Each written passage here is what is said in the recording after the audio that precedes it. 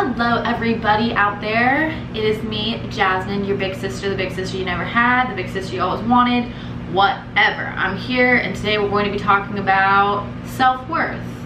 And I know I've discussed this in previous videos, but this is going to be a little bit of a segue to different things. So as many of you know, I work as a model. I've been working as a model for years and years and it has been good for the most part, not lucrative all the time, but the thing I run into a lot is cattiness at castings. A lot of people are very nice, but there are the few people who are just not very nice and a little big-headed and full of themselves. And when you go into those situations and you don't have like the strongest center, or you might not be like the strongest, the emotionally strongest person, it can be a little disheartening and discouraging and you're like, oh, I don't want to go to castings at all. Believe me, we've all been there. I've been there. I'm still there. I struggle with it constantly when you go into a casting and it's like a cattle call casting. There's a bunch of people there. There are girls that are prettier than you, skinnier than you, whatever, more than you, because there's always going to be those people in life. So to anyone else out there who is not a model, this uh, applies to everything. There will always be greater and lesser people than you in every area of life. And this serves as a motivation towards you, but it also serves as an indication towards you that there are greater and lesser people always, forever. That's just how life goes. If we didn't have people or situations like that, we would have nothing to marvel on and nothing to, you know, maybe set a benchmark for ourselves again. And now I'm gonna tell you how to brush that off. So um, a friend of mine keeps saying to me, water off the duck's back. I was like, what the hell does that mean? Well, water off the duck's back. When water hits a duck, it just like slides off its back, right? These situations where you're constantly comparing yourselves to other people should be water off your back. You should not look at another person and go like, oh, I don't have this or that or whatever. You should be looking at who you were yesterday and comparing yourself to that person. Are you doing better than you were yesterday? And if the answer is yes, that's great, amazing. Keep doing that. Keep doing that over and over again. And the more you practice this, the easier it gets be better than what you were or who you were yesterday. When you start off like working out or dieting or whatever, you don't go like balls to the wall, right? Some people do and good on you, but like, let's be real.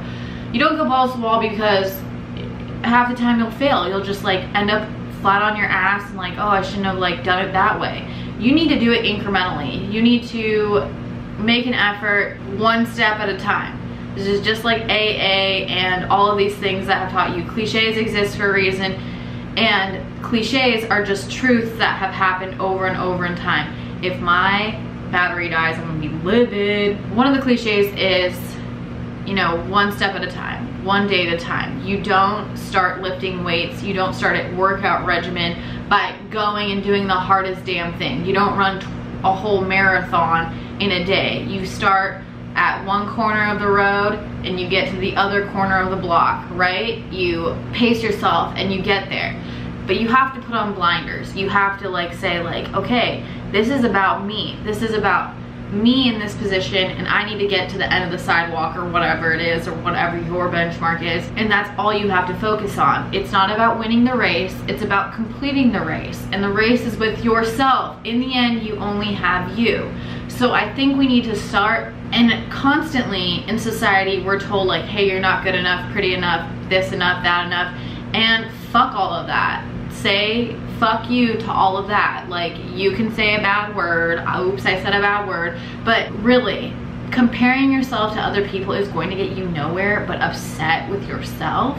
And that's not fair to you. You are a unique individual. You are a unique human being. When it gets down to like everything, you are one singular person and you matter to this universe, you matter to this world, you matter to a whole plethora of people, whether you know it or not, and you have to respect that you are an individual. You have to respect that you shouldn't compare yourself to others because it's taking away from what is you. It's demeaning you, really. It's just demeaning you. And women particularly have a problem with this because we have been taught to compare ourselves to other women. Like we have been taught, we've been sold this, we're in competition. I even find myself saying like crazy things like, ugh, men are just into blondes. And it's like, why do I say that? Why do I care? I should just be worried about me. And if a dude's not into me, his loss move on. And that's another point I really want to drive home to is that we shouldn't measure ourselves and our success and our love life and relationships off of other people. We should define those things by ourselves. It's really hard in a society that's constantly inundating us with shit. And believe me, I know I contribute to that. But like know that my stuff is my stuff and you go live your life. You make the measuring stick. This measuring stick is your measurements alone. You get to decide where you put your effort and your energy and where you want your life to be better, but focus on being better than who you were yesterday. Be great, you're meant for it. I say this to a lot of people. Be great, you're meant for it. The fact that you are alive as a human being is miraculous. You are a miracle. I could really be a preacher. Like, this is crazy but I honestly believe that if you have divinity in you, because you do, you're a human, that you owe it to yourself to not compare yourself to other people and to be better who than who you were yesterday. You really owe it to yourself and you owe it to everybody else. When you start focusing on you and you put the blinders up, you will be amazed by how far you can get without comparing yourself to other people. This also means cut out the shit that makes you compare yourself. Get rid of the triggers. A lot of the times I find myself looking on Instagram at girls who are skinnier than I am, who I think are prettier than I am, and it's just, it bogs me down. And it's just like, hey, they look different or they have different body types and why can't I get away from that? A lot of the time I have to follow like photographers and stuff. There's a mute button, you know? Mute them unfollow them if you are daring enough and if you're fine with burning those bridges but you really do not have to put yourself in a position where you just feel shitty because gosh life is enough suffering. We have enough suffering. We as humans suffer. That's just part of the human condition. And suffering teaches us about things. It teaches us what to avoid and what we can put ourselves up against in the future. It makes us resilient. However we shouldn't seek out problems because God can give us enough of those and the world can give us enough of those. Okay, my camera died, so I have no idea where I left off. But we were talking about self-worth and comparing yourself to people, which is a grandiose waste of time. I think that once you figure this out in your life, of course, you don't find this out until you're later because youth is wasted on the young. But like, as I'm getting older, I'm starting to learn like, hey, maybe it doesn't matter what this person thinks of me because it doesn't. Because I have to live with myself at the end of the day and I'm the person who has to wake up with myself in the morning. So goodbye to all of that. That's all I really had to say. But since I want to make this stuff 10 minutes long, 10 minutes each, like comment, subscribe, please. Hee hee. Um, I'm just going to be spitting some more stuff out here. Look at this like lighting on this thing. I burned myself with a curling iron right there. This is my tattoo. I have bangs. This is a weird shirt. I have a black head on my shoulder. Anyways, ooh, you guys saw my bra. Oh my gosh.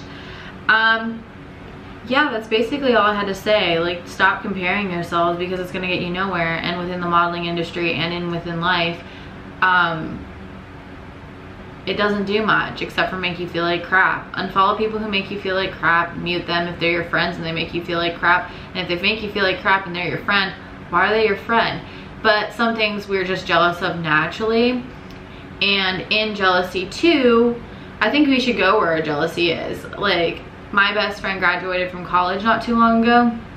It's her second degree. She's a genius. I love her. But she graduated from college again and I went to the graduation and I found myself sitting there like, wow, I'm kind of jealous of this. Like, I'm jealous of this. So I put myself back in school and I'm gonna graduate again. And that's what you should do with your jealousy is you should turn it into something that fuels you towards your future. And in comparing yourself to other people, which is a waste of time, but if you're gonna do it, make it worth something, make it count make it so that it motivates you and encourages you and inspires you to do more and be more with your life so that you can be better than who you were yesterday and what you were yesterday and provide more for yourself in the future. We're playing the long game, babies. We're playing the long game. So stop selling yourself short, stop comparing yourself, and really put in that effort towards the future. You might not be able to see it immediately tomorrow or next week, but little by little you can go far. And um, that's basically all I had to say to you guys today. Uh, this has been your big sister, Jasmine. I should really make more videos and try to like expand my horizons, but life gets in the way. I have to prioritize that. We'll talk about priorities next time. Anyways, big love to you all. I'm going to clean off my face and derma roll now, which should be fun. Like, comment, and subscribe. I'm here if you have questions, comments, concerns, if you need advice, hit me up. All right. Love you all.